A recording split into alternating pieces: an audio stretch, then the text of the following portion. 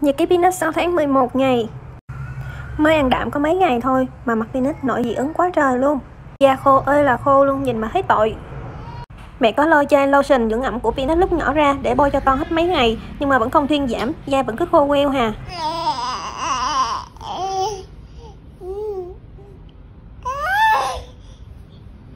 Vậy nên mẹ đã quyết định múc luôn chai dưỡng ẩm Mustela này về để bôi cho Peanut nè. Bôi vô là thấy có hiệu quả hẳn luôn đó. Da khô nứt nẻ của Peanut dần được dưỡng ẩm trở lại. Da bắt đầu mềm ẩm từ ngày thứ ba và trở lại bình thường vào ngày thứ tư luôn đó mọi người.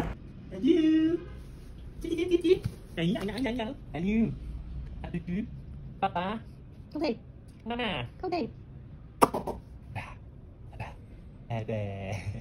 Ba con thân nhau thì kể cũng tốt, cứ ba đi làm về là mẹ khỏe hẳn luôn. Cậu nữa. Ừ. Mọi người coi Peanut được ba sao kem dưỡng ẩm mà mặt sướng chưa kìa. à, nâng nâng cơ mặt. Ừ.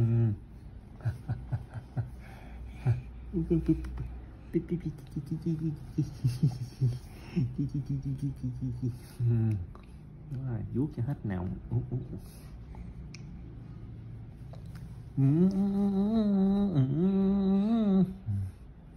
ừ, ừ, ừ